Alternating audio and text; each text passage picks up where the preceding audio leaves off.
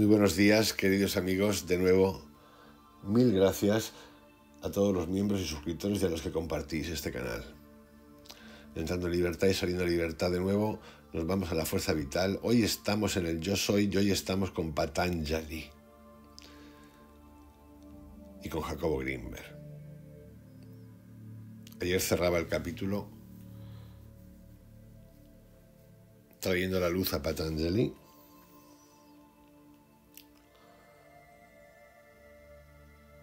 y mirándolo como lo miraba Jacobo de una manera como inaccesible, en la que habla ya de su padre, del padre, no de Patanjali, pero de Jacobo representado como no sabemos qué nombre todavía.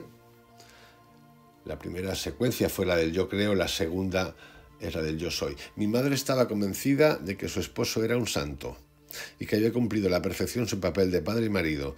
Yo nunca lo había oído discutir o pelear. En las comidas todos bendecíamos el alimento mientras él hacía una plegaria y mi madre solícita nos servía. A mí no me interesaba la meditación. La sentía como una rival de la compañía paterna, pero jamás lo expresé abiertamente. En cambio, los rituales me fascinaban. Todas las mañanas acompañaba a mi padre al templo y allí orábamos ante una imagen de Shiva. Él me decía que Shiva enseñaba a transformar lo negativo en positivo colocándose más allá de la dualidad de regreso a casa, siempre pasábamos a saludar al elefante sagrado. Su cuidador le había pintado la piel con dibujos intricados y en su gran cabeza había trazado tres líneas blancas paralelas y un gran círculo rojo en su entrecejo. Yo le acariciaba su trompa y él la colocaba sobre mi cabeza como dándome la bendición matutina. Después desayunábamos con toda la familia y al terminar acompañaba a mi padre a su trabajo. Vendía telas en el mercado y yo lo ayudaba con su negocio. Mis hermanos eran pequeños y se dedicaban a recibir instrucción en una de las salas del templo. Yo ya había terminado mis estudios y estaba penetrando al segundo ciclo de la vida. Quizás por eso no podía aportar, apartar de mi mente la visión de esa muchacha del mercado. Mi madre me cuestionó dos días después. Era muy intuitiva y seguramente le extrañaba mi semblante preocupado y mis ojos rojizos indicativos de insomnio. Se me acercó después de la comida y me llevó a su lado. ¿Qué es lo que te sucede? me preguntó preocupada. Le conté todo y le di señas de la fisonomía y vestimenta de la muchacha. Le confesé la opinión del astrólogo y después de escucharme me dijo que me tranquilizara. La boda aquí ya toman las cosas a una velocidad inaudita. La boda se realizó tres semanas más tarde. Ambas familias Éramos de casta brahmánica y no había habido ningún problema para llegar a un acuerdo. En las bodas de la India yo he estado en una. Es increíble porque se hacen estudios astrológicos del momento de la boda, de si las dos personas mantienen y llevan energías que son benéficas para las dos, la cosa es más seria de lo que parece. En el otro libro de, de Jacobo, de los cristales, también el emperador de los planetas, antes de casarse hacía lo mismo. Aquí podemos pensar muchas cosas, podemos pensar que esto es un error, que esto es una fumada, lo que os dé la gana. Bueno, el caso es que se hace. Los manuales no siempre salen bien. Con, con eso digo bastante. Pero entramos en libertad y salimos en libertad. Durante 20 años mi esposa Soraya y yo vivimos una vida tranquila. Tuvimos seis hijas y dos hijos. En un viaje a la bahía de Bengala visité a mi hermano Aman, quien era pescador del pueblo Asama. Él me convenció de irme a vivir con mi familia a su pueblo. En las mañanas salíamos a pescar mientras los niños jugaban en la playa, nadaban y asistían a instruirse. Soraya era una buena ama de casa y la pequeña choza que nos servía de hogar siempre la mantenía limpia y arreglada. Este lenguaje que acabo de utilizar, que es el lenguaje del texto de Jacobo, hoy en día nos puede meter en problemas. Pero bueno, aquí no se trata de deshacer lo que ya está hecho. Lo podemos interpretar perfectamente. No como hay gente que lo quiere borrar. Una tarde, al regresar del mar, Amán y yo nos sorprendimos al notar una humareda que salía del pueblo. El mar estaba picado y nos, tardamos más de una hora en desembarcar. Mi corazón palpitaba con tanta fuerza que sentía que se me saldría del pecho porque el humo parecía surgir de nuestras casas, las que a la distancia se veían envueltos en llamas. Desesperados y luchando contra las olas pudimos por fin llegar a la playa. El ambiente era tenebroso y un penetrante olor a carne quemada se percibía en la atmósfera. Los cocoteros que bordeaban la playa con sus hojas chamuscadas y las grandes palmeras del pueblo habían sido testigos de la tragedia. Buscamos a nuestras familias y lo único que encontramos fueron los restos irreconocibles de decenas de cadáveres, de cadáveres carbonizados y colocados unos sobre los otros. Durante nueve días no pude dormir y mis ojos desorbitados parecían lanzar chispas en todas las direcciones. Existía en un estado de estupor completo, sin entender lo que había acontecido y con un deseo de enterrarme en la arena o abandonarme al mar sin luchar. No podía comer y solo de vez en cuando cortaba un coco y saciaba mi sed con su jugo dulce y espeso.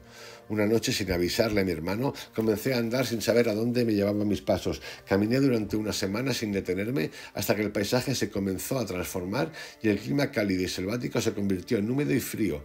Penetré en un bosque tupido, arrastrándome, arrastrando los pies. Los árboles y el musgo cada vez se hacían más y más densos hasta que en el corazón de aquel paraje el follaje cerrado apenas si dejaba pasar los rayos del sol.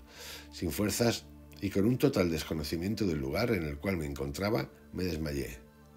Un piso esponjoso y alfombrado de hojas fue mi lecho. Desperté en otro lugar. El calor de una fogata me calentaba y haciendo un esfuerzo enorme alcancé a divisar frente a mí a un hombre delgado de barba enorme y cubierto únicamente con un pequeño taparrabos. Antes de poder reconocerlo, volví a caer en la inconsciencia. La misma experiencia se repitió en varias ocasiones en intervalos que parecían transcurrir sin intermedios. Después supe que me tardé 13 días en recuperarme y que esa figura humana desdibujada que me había salvado era mi padre, Patanjali. Diez años antes se había despedido de mí, mis hermanos y mi, y mi madre, y aislado en ese mismo bosque al que me habían guiado mis pasos y un poder misterioso. Patanjali se había dedicado a meditar en silencio y durante esos diez años no había tenido contacto con ningún otro ser humano ni pronunciado una sola palabra. Permanecí con mi padre hasta que murió. Me dediqué entonces a escribir sus enseñanzas en forma de aforismos. Viví 20 años más y nunca abandoné el bosque. Me alimentaba de raíces y frutos silvestres. Recogía agua de la lluvia, la que me servía para saciar mi sed y asearme.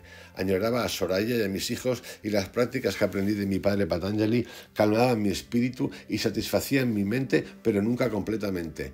Algo dentro de mí permaneció en el misterio hasta que morí. En ese momento se rasgó un velo y pude percibir un estado de amor que me calmó, pero solo por un instante. Patanjali me había mostrado que el secreto del ser se encontraba en el silencio, en la inhibición de toda actividad mental. Su mensaje estaba claramente descrito en los aforismos que yo mismo había inscrito en grandes rocas para que perduraran intactos hasta ser encontrados por otros buscadores, los últimos cinco años de mi primera vida en este planeta los viví en un estado de silencio. Solamente existía yo, el cielo y la tierra. Durante ese tiempo no pronuncié palabra alguna y en mi mente no apareció ningún pensamiento. Solamente en el instante de morir de mis labios surgieron dos palabras. Yo soy. Como ya podéis haber apreciado, el libro es una secuencia de las once vidas de Jacobo, que no es Jacobo aquí. Y esta se corresponde con la primera, después de salir de ese planeta Andrómeda. Os envío un abrazo, que tengáis un excelente día este capítulo tiene que ver con la India. El próximo, que tiene que ver con otra de sus vidas, tiene que ver con Egipto. Y el titular es Yo tengo. Cuidaros mucho. Soltemos mochila, alegría, desvergonzados. Un poquito de desobediencia al sistema viene bien. Entendiendo los polos, que no nos chupen ni nos tiren. Sonreír y reíros de vosotros mismos, de todo lo que hacemos. Os quiero mucho esta mañana.